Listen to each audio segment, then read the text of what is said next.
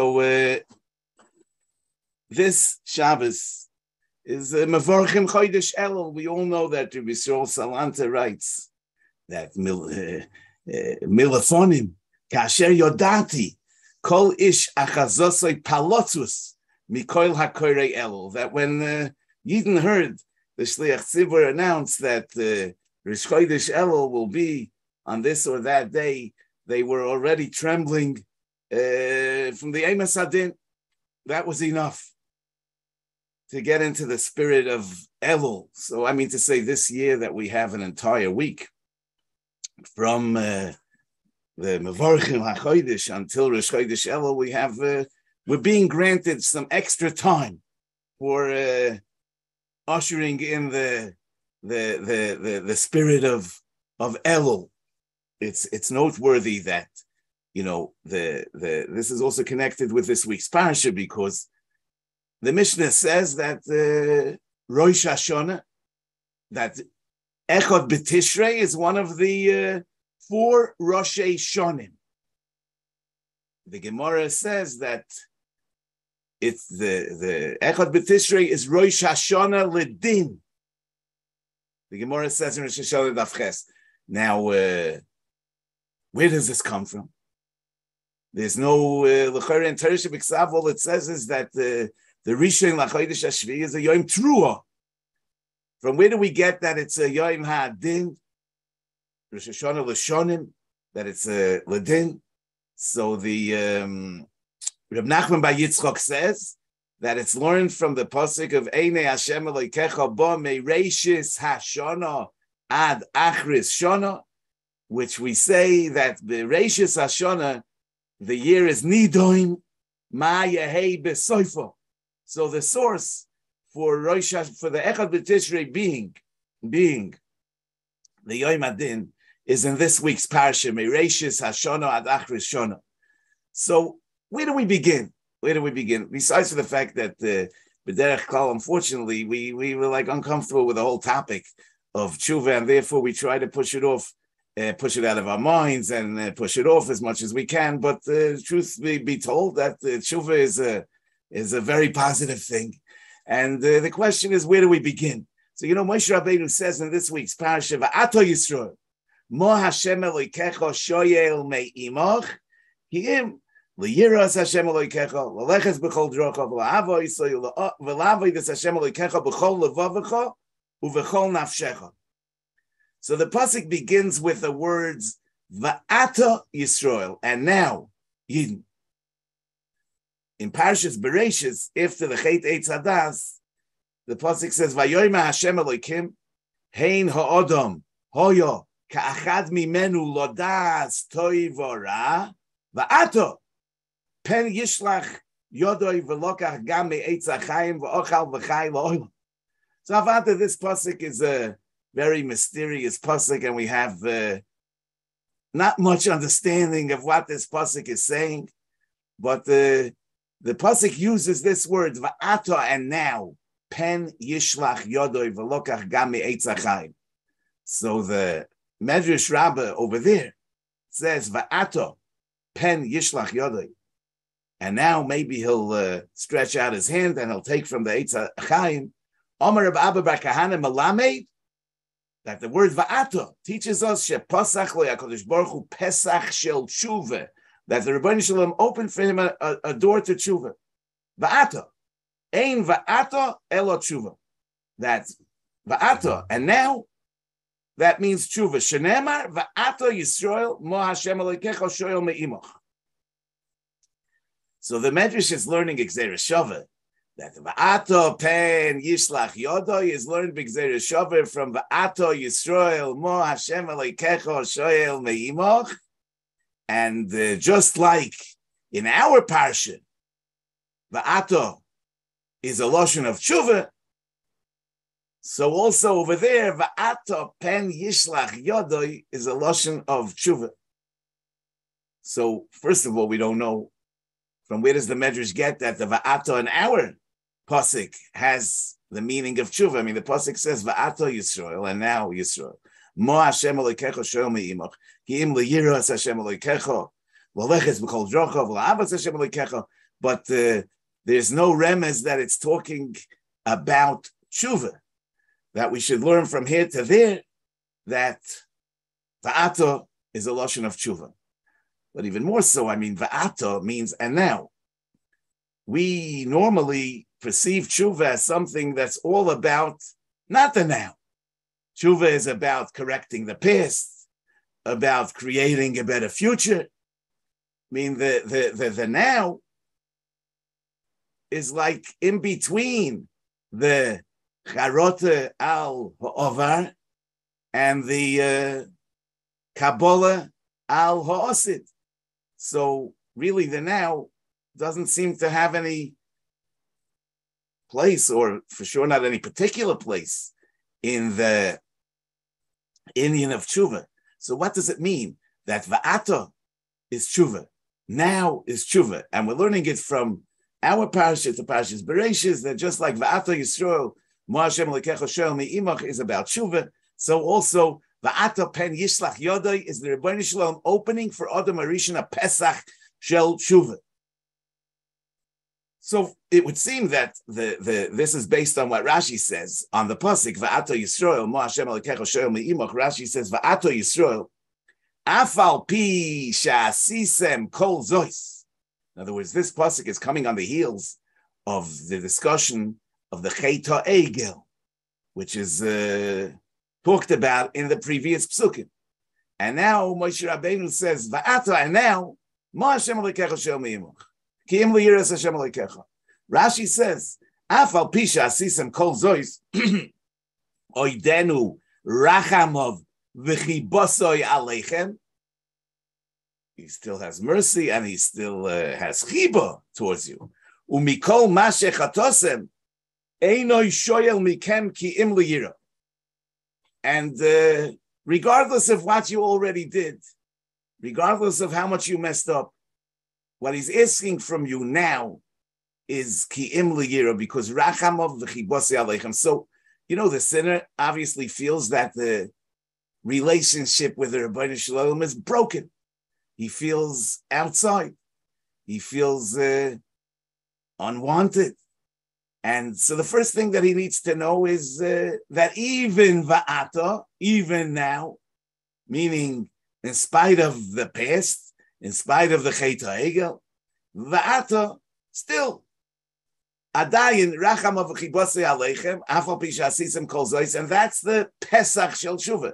That's the opening for Tshuva, because if a person feels like an outsider, if a person feels disconnected, if a person doesn't feel that he's in a relationship with the Ribono Shel Olam, so uh, he uh, has no way to come back. So he needs to know that Oidenu Rachamov v'chibosoi aleichem. Now, the va'ato pen yishlach yodoi. So if you look in the on the side of the Medrash in in Bereshis uh, Pasha Chaf Aleph, he brings from the Shloah Kodesh that what's the meaning of this pasuk? Va'ato pen yishlach yodoi, and he'll eat from the eitz achayim v'chayla oilam. So what's the problem? What's uh, why does that have to be preempted? So the Shloah Kodesh says that Shakadosh Baruch Hu asalei tikun sheyizdachech choymoroi al yedei misa. That being that Adam Rishon ate from the Eitz Hadas, so he needs a tikkun, and that tikkun is the zichuch of the chaymer, the purification of the chaymer of the Adam. And lachen girshoy mi Gan Eden tikkun. In other words, the girush from Gan Eden in order that he shouldn't eat from the Eitz HaChayim v'chayla oilam, is in order that death will be his tikkun. So, them is the va'ato. In that context, is also saying the same, same thing that Hakadosh Baruch Hu is pasach le pesach shel tshuva, because if man would be v'chayla oilam, then he wouldn't be able to have a tikkun. So it again expresses the idea of Aidenu Rachamov v'chibosoi Aleichem. The Ribono Shel Olam still cares about man and still wants his tikkun, and therefore he's megarishim from Gan Eden in order that he shouldn't be v'chai la'olam, in order that he should be able to have a tikkun. So Hakadosh Baruch Hu still cares. Now the challenge that a sinner has to overcome is the natural inclination that we have uh, to live in the past. I mean, to define ourselves based on the past. Now, it's true that the past needs correction, and Shuva is how the past is corrected. But the Pesach Shel Shuva, the opening, is the Va'ata, is the now and here. First of all, you have to open a new page. Shuva is not about living in the past. It's about establishing a present and then, and then correcting the past. But it all begins with the, the ato. There's a fascinating Yerushalmi in the end of Masechtes Peah that says, Rabbi Yochanan Resh Lakish, Aloin Mischon Bahadein Nimusim de Tveria. They were entering the baths of Tveria to bathe in the Chame Tveria. Poga boin chad miskein. Um, uh, an unfortunate, uh, seemingly needy person uh, met them. And he said, bi. He said to them, Be zoiche in me. Meaning, uh, you'll give me tzedakah, you'll have a mitzvah, you'll have a schus. Kind of an interesting way of asking for a donation. He said, Zechoin bi. So Amrule Michazrun. They said, when we'll come out of the bath, we'll take care of you. Ki Chazrun, when they came out of the bath, Ashkechune Miss, they found him dead. So he passed out in between. Amru. So what was their response? What was the response of Rabbi Yochanan Rish Lakish? Amru, Hoyel v'loy zechinen bei bechayov. Since we weren't zoiche in him during his lifetime, in other words, we didn't give him tzedakah when he was alive. We weren't zoiche to give him tzedakah when he was alive. Nitapel baby misusa. Let's be metapel with him as a as a mess. Let's bury him. He metaplun bay as they were being metapel with his kvura. Ashkechun kiss dinrin bay. They found on his begodim a whole uh, purse of dinrim. He wasn't poor at all. It turned out that he was uh, just pretending to be poor. He didn't really need the money, and uh, they weren't the cause of his death. I mean, so we know the end of the story, but it's it's it's it's it's amazing what what was going through the mind of Rabbi Yechon Rish Lakish. What kind of response is it? Hoyel In other words, the we would think, I mean, such a terrible tragedy. I mean, they come out and the man is dead. I mean, they they they they can be totally swallowed up by by by the past. I mean, look what we just did, and they could become heartbroken, and they could uh, totally be, be be wiped out. But the gadlus of Rabbi Yechon and Shlakish was that they knew that correcting the past that's a very important issue, but it has its time and place. A person has to be first and foremost responsible for what needs to be done now. And they said, listen, we weren't responsible in the past now.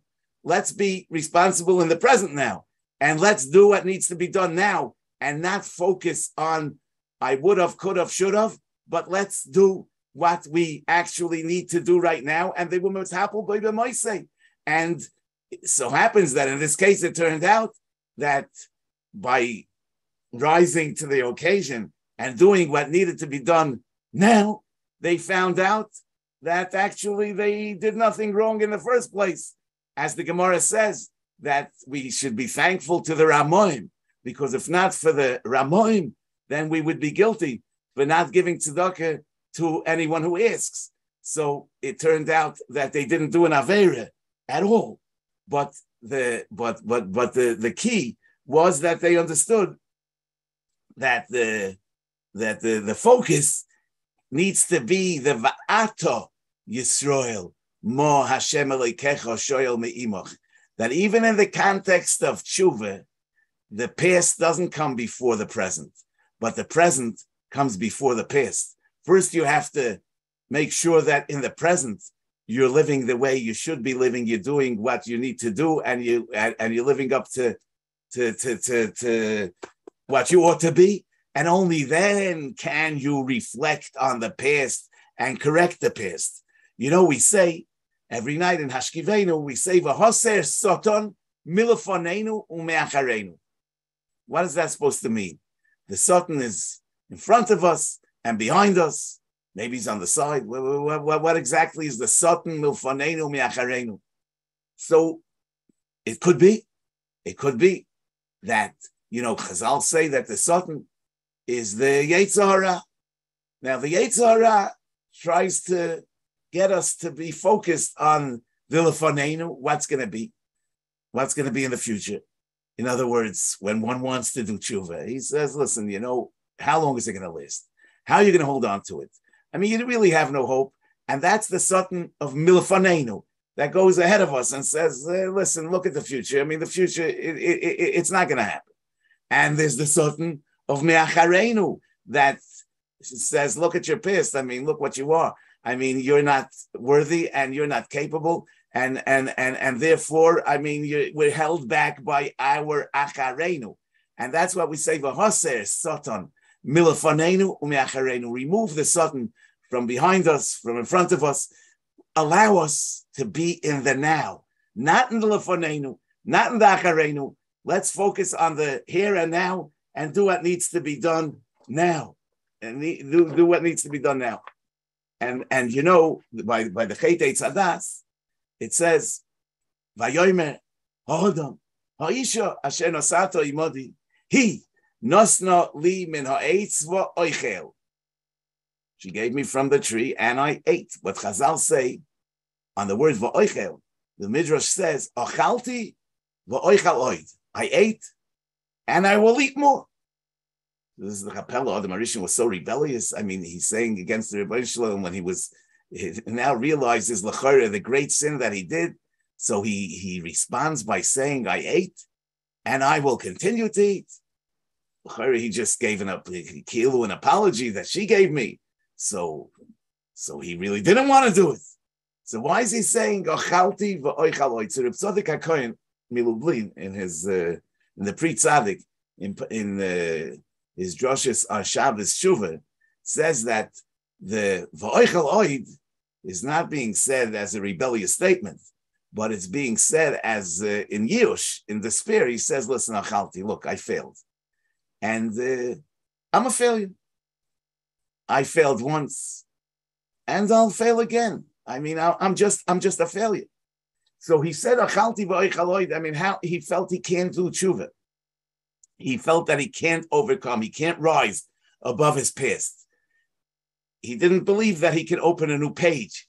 And that's the Vahaseh Sotan Milafonenu Umeacharenu. And that's why in the Ribono Shel Olam's response, he actually says, Va'ato pen yoichal. And as Chazal say, Ein va'ato elo tshuva.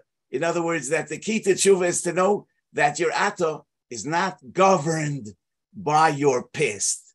The va'ata is fully dependent on what you choose to do right now. And what happened, happened. It needs to be corrected, but that will be the next step. You know, in last week's parsha, it says, "Vayitzavenu Hashem." Lase says, "Kol achukim ha'ela liyiro es Hashem Elokeinu l'toiv lanu l'chayoisenu kahayoim hazeh." Like this day. What does it mean? Like this day? So maybe based on the above, we can say, you know, in Pashas Vayeshev, it says, Vayi by, by Yosef with Ashes Potifar, it says, Vayihi kahayoy mazeh, Vayovoy habayso, lases mulachtoy, ve'ein ish me'anshi habayis shom, ve'ein ish me'anshi habayis shom babayis. Says Rashi, what's the Vayihi kahayoy mazeh? Vayihi kasher higia yoim meyuchot, yoim age shelohem, sheholchu kulam lebeis avodah Amra, ainly yoim hagun lihizokek liyosef kayom There's no better opportunity than today. Today is a day of opportunity. So I say a yid needs to feel, as far as Torah mitzvahs is concerned, that it's kayom There's no day that's more appropriate than today. Not yesterday, not tomorrow, it's kahayoy mazeh. Today is the best day to do it. And and and and and don't don't focus on the past. Don't focus on the future. That's the idea. I want to share with you an interesting word that it says in the Yetev Lev that really connects with this because there, you know there's a pasuk in in, in Tillim There's a pasuk in Tillim, Kapitel Yud, that says, Ki Hillel Rosha al tavas nafshoy. Uveitzei aberech niyetz Hashem. Pashtus, the pasuk is uh, saying that the Rosha, he praises the Ribono Shel Olam for allowing him to uh, to uh, realize his tivus. But the Rebbe Reb Zisha kites like this. The Gemara says in Shabbos Daf Lamed, "La'olam yehei adam an v'son kehilel." A person should be an onov like Hillel. So Hillel is the symbol of anivis. Now, anivis is a very important thing. However, not always. Sometimes there's uh, what Svarim Hakdoshim call an anova psula, an anova that's misplaced. Sometimes a person, you know, says, you know, who am I? What am I? I mean, to do this mitzvah. It's beyond me. It's above my madrega. Sometimes a person uh, has a Yetzirah to do an Avera. The Yetzirah tells him, I mean, it's it's wrong, it's inappropriate. But he says, listen, I'm uh, I'm not on the madrega of holding back from this Avera. I'm not I'm not really uh, I'm not I, am not on the madrega. I'm not up to it. It's not I can't do it. So that's another a misplaced another. So says the Rebbe Rebzisha, ki Hillel Rasha al Tavas Nafshay. Then when it comes to, to doing your taivas, even a Rasha is willing to be a Hillel. Hillel Rasha al Tavas. Even a Rasha is willing to be an Anvison ki Hillel al Tavas Nafshay. So says the Yetev Lev that Va'ato Yisrael Mo Hashem Alekecha Shoel Me'imoch. That Mo, you know, is another because V'nachnu Mo. Va'ato Yisrael Mo Hashem Alekecha Shoel Me'imoch. He's asking of you to be Mo to be an onof. However, ki im liyiro as Hashem kecha, only if it's going to contribute to Yerushalayim le'ovdei b'chol avavchem, only if it's going to contribute, it's going to be mazaris you to be mekayim mitzvahs on a higher level, and because you're going to feel b'toichir anova that you need to do more. But if chas v'sholem, it's going to bring you down, then I don't want that more. In other words, Now you know the Rambam says in the beginning of Hilchos Shuvah, maybe it's in Perik Beis, that midarke at is to be an anvison ushval ruach. Since Va'ato Yisrael is like the Medrash says that Va'ato is a loshen tshuva, so it's immediately qualified with the Mo Hashem Alekecha Shoel that Hakadosh Baruch Hu is asking for another, but ki im liyira only if that anova is going to empower you and going to bring you to the next madrega in avodas Hashem. But if that anova is going to paralyze you and going to set you back, then that anova is counterproductive. You know that in the um, no, the beginning of the Sefer Tanya deals with this theory, which Bams already appears in the uh, Rabbeinu Yoina that at one on one hand Chazal tell us va'al tihi Rasha b'fnei atzmacha. One should not consider himself a Rasha. On the other hand, Chazal say that afilu kol ha'olam kuloi oimrim l'chatzadik ata heyei beinecha Rasha. So should a person consider himself a Rasha, or should a person not consider himself a Rasha? So the whole first chelik of the Tanya is based on this question that there's two two meanings to being a Russian. But in the Sefer Yismach Yisrael, from the Alexander Rebbe, he says that the, the difference between these two mamorim is that when people are telling you that you're a tzaddik, then you should consider yourself a Russian. But when you're alone and lonely and down and out, then altihi rosha b'fnei atzmacha. When a person is b'fnei atzmacha, then he has to lift himself up. Then he has to tell himself that he's not a Rasha. But when everybody's telling you that you're a tzaddik, then you should tell yourself that you're a Rasha. So the, the, the point is that uh, there's a balance and a person has to know where to apply what and what to apply when, because uh, if we just follow one line, so uh, we have the there's, there's, always a chash that we shall use it in the wrong place. We can become Chas V'Sholem, a Hillel, Rasha, Altava, Snafshay, and we want to be uh, Anvason Kehillel. Anyway, the Rebbe Shalom helfen that we should be Zeiche to tune in to the spirit of Elul and make it meaningful. And we should be Zeiche to uh, Ksivach Simatova. V'soich Shar Yisrael. Rabbi Say, I wish you all a good Shabbos.